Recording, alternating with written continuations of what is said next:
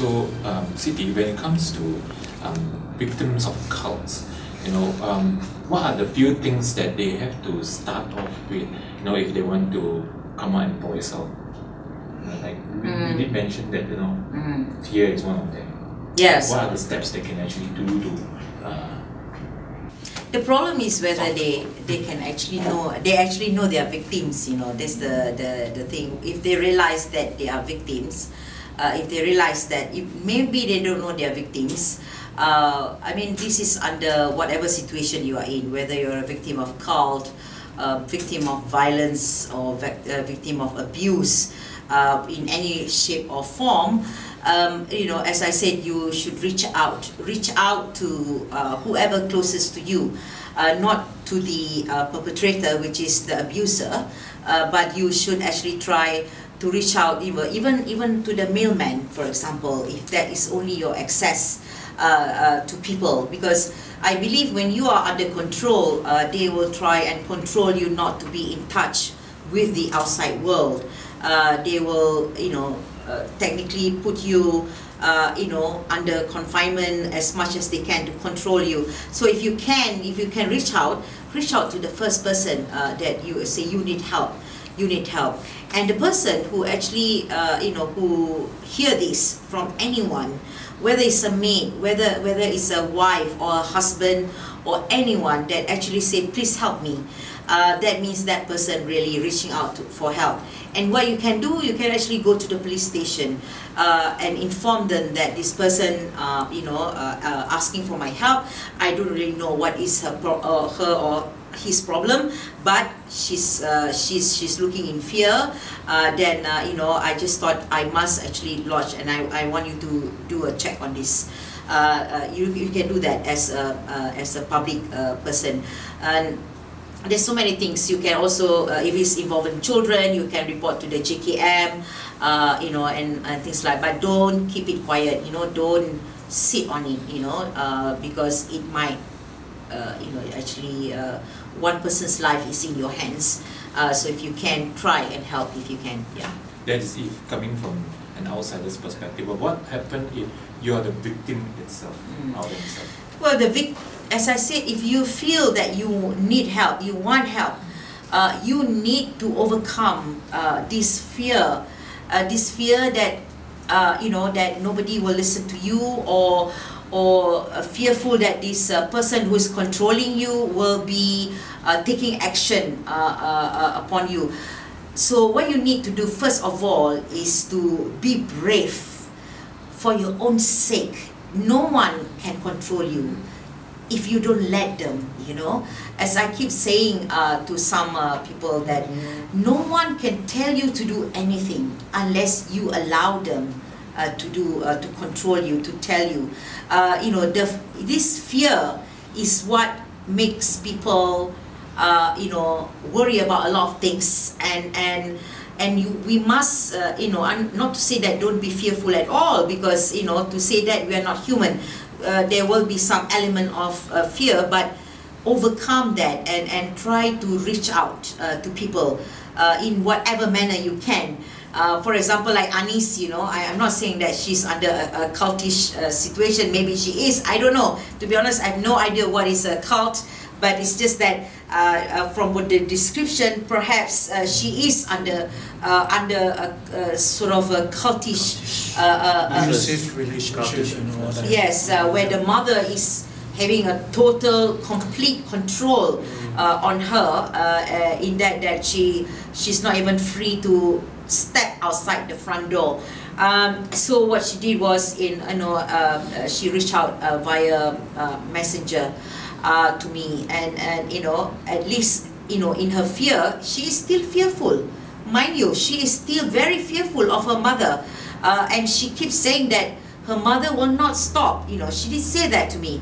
Um, at first i didn't actually take much notice because uh, to be honest i don't know how really in a way uh, uh, you know the mother is lah. I don't want to use the word crazy, but but anyway, uh, you know, the, uh, only a person uh, with the, that c word will behave as, as she is, to be honest. Um, anyway, and and so I told her nobody can uh, can uh, uh, uh, do anything to you unless you allow them to do so.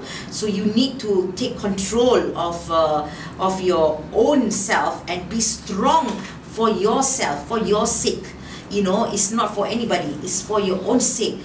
Uh, to save yourself, you know, you need to be taking steps, uh, uh, you know, for about yourself, not not any about anyone else. So if you cannot help yourself, who is going to help you then? Uh, you know, I mean, at the end of the day, it comes down to ourselves. Um, but then again, you know, it's easy for us to say, right?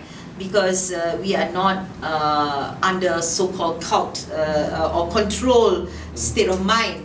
Uh, but but if you allow people to control your mind, to say that whatever they say is correct, then you are uh, being controlled. So you need to uh, always not, you know, use your brain basically. Very simple.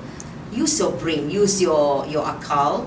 Uh, God has given you brain to be used. Don't let it wasted. You know, don't rely on somebody else to say that you are you are stupid. You are you you are you are you cannot survive without me. Uh, don't let anyone tell you that because uh, then you are under that person's control. Uh, you can think, you can decide for yourself. Yeah, I mean, I hope they it will reach out uh, to the people. So is there any like support group that we can that, that yeah, for them to uh, to reach out to?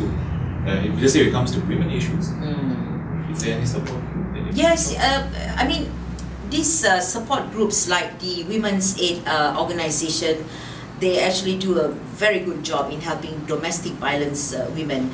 But in any kind of situation, meaning that if they are a victim, uh, they are victims of uh, violence, uh, abused, uh, you know, uh, and anything that which is not normal, uh, they can actually uh, get help from the WAO or even you know there is a helpline number actually. If you google there will be a helpline number. Awam as well awam. Um, i can't remember the long name for it. I think something action. I don't know i mean awam lah. And then there is a helpline Telenisa Telenisa which is run by the sister uh, sisters in islam uh, they actually has have this uh, helpline in which actually Anis again my client uh, uh, reached out to Telenisa uh, to for help uh, for someone to accompany her to Jais. Thank God for that lah. I know to be honest, otherwise uh, we wouldn't know where Anis is now because uh, she's arrested, then quickly brought to the hospital uh, by the police. You know, as I said, this is condoned by the authorities, uh, their behavior, and uh, we wouldn't know where she is. But thank God she reached out and asked for help. Uh, that's uh, uh, one thing.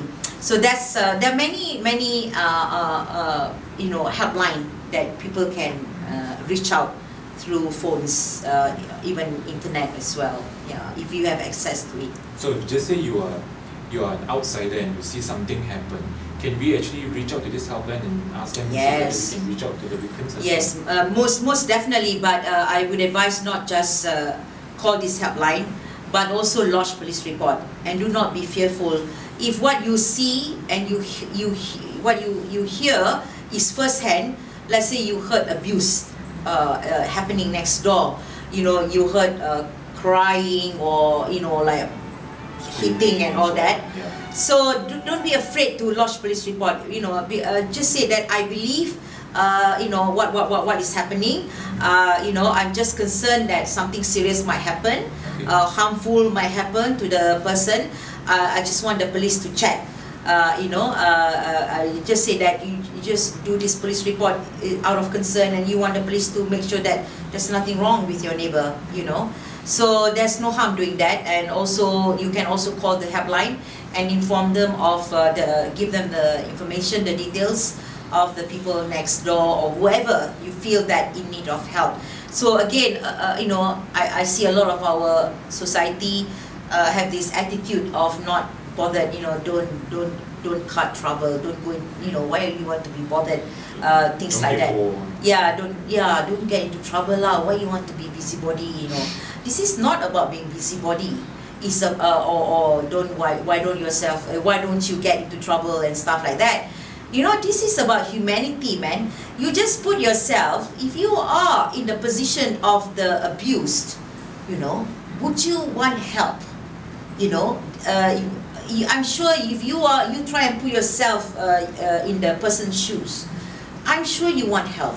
You would be so grateful that there are other people who cares for you you know and and and this is what we must be. We must be a nation of caring people you know a, a nation of people who cares about our neighbors uh, about about about others uh, not just to, to people who are of the same religion uh, to same race. No this is about humanity you know. Uh, i think once we have that feeling of being humane uh, you know we are already there, you know, and I'm sure Jannah will be waiting for you. You know, it's not about being religious or what, it's about being, you know, helping each other. This is, is so important, I think, a quality that we must instill in our our people. Yeah, be empathy, you know, empathetic towards others. Uh, it's just so important. Yeah. Yes, that's good.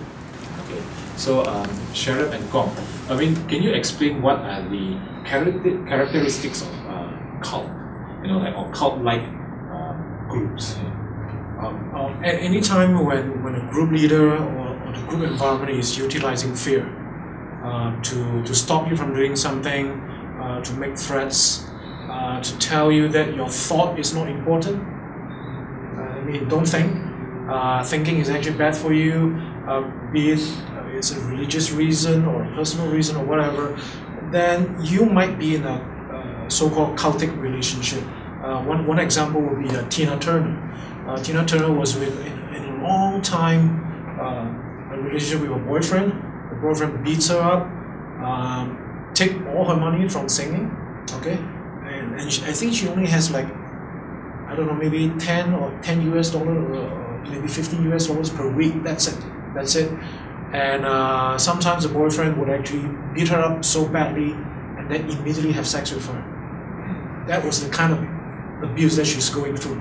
But she she fears so much. They waited like more than ten years before she actually like uh, the so-called last straw on the uh, on the back of the, uh, the camel, and then she just uh, took the money and left, and then that's it. Okay, but but some women may not be as lucky as her. Some women may not may not have the last straw. They die. Okay, so so people have really have to be careful. I think that's that's what I have to say. For me, it's uh, very simple. Uh, cultish behavior or cultish pattern is something that is harming your body, mind, and spirit, whether physically or financially. Create troubles in your emotion, yeah, in your in your well-being, harming your well-being. That can be considered cultish. Yeah, something that that's manipulative and suppressive. So, is there any um, groups or movement that uh, will be coming up in terms of uh, helping people to be more aware of what cult is in, in Malaysia? Yeah, we are uh, forming or try to create a group called ICAN. ICAN means a small I there because I, the, the ego of this member has to be small, not be egoistic, yeah, not in my way, but collectively we move toward one same direction, which is helping the victim. And I see, I can see stand for cult and then awareness network. We try to gather experts from various areas like lawyers, uh, counselors, and psychologists, and uh, sit down together and discuss, uh, collect some data, and uh, looking for ways to help the victims and how to get rid of the cults, yeah, cults phenomena, cult symptoms. Mm-hmm. I would say that thinking for yourself is very important, but sometimes uh, we have to think that victims under this kind of relationship or this kind of groups, they don't they don't know that they're unable to think. Mm. They, they don't realize that. So one other way to actually so-called short-circuit this process is to allow a lot of people to know how cult works. How do they recruit? How do they manipulate? How do they make threats? How do they use fear to, uh, to control you? By making those things uh, uh, so-called uh, aware in the public, then people might have a chance to, oh, maybe I'm in a cult. Yeah that kind of things. Yeah, you start with an awareness. Lah. So one thing I want to add is that before you call police, if you're emotionally unstable, if you're fearful, there is a technique that you can use. It's called emotional freedom technique, EFT, tapping. It's tapping along your certain uh, meridian points and to say certain words like, I'm fearful, but I'm willing to love myself. I'm fearful, but I'm willing to ask for help. I'm fearful, but I'm, I accept myself totally. And lovingly. This kind of technique you can learn from Google or YouTube. Just keep key tapping or EFT, emotional freedom technique. And this is something you can do whether you are in a, in a cult situation or not. Whether you want to help yourself or you yourself is a victim of the cult. Mm. Yeah, this is technique that I highly recommend. Yeah. Thank you very much. Thank you. Dude, I really, I always thought that the cult is like the, you know, like this cult leader. Yeah, yeah, yeah, yeah. You know, they have this uh, Yeah, yeah. harem, you know, Yeah, of yeah. people that. That's the official. Uh, yeah, I, I thought yeah. I thought that is uh, what cult is. Always Yeah. that's my understanding Yes, of yes, what yes. cult. Yeah, correct. Uh, but I didn't know this is something new that Mm. about explaining Yes, yes. Uh, behaviors in a Behaviors, cultish. yes. uh, Cultish be, behavior. Yeah, it can be just uh, Person to person. person to person. Yes. Ah, Maybe okay. one to five. So it's all about uh, the behavior of the controller Yes, and the victim uh, Yeah. reaction. So and manipulative. Mm. Yeah. It I- happen I- any- something I learned life. today lah. Yeah, every every day happening in our yeah, life. that means there are many many cultish uh, relationships. Yeah, Cult come under different different areas. also. different area, Religion. political cult, religious cult, Yeah. cultural cults. Oh, okay. K-pop Icons. cult. I, I thought these uh, cults are the one wearing you know Funny, funny, white, yeah. you know, uh, Yeah, yeah, yeah, yes, you know, they have visualize, their yeah, own yeah, farm, yeah, you know, yeah. things like I would, that. I would say I would say if people date enough, they Mm. probably meet at least one cultish relationship. Yeah. Cultic personality, you know. Personality. Yeah, Yeah, personality. yeah, Yeah. yeah, yeah. That kind I, I can't. Yeah. I don't think I have, unless, unless I'm the cult leader.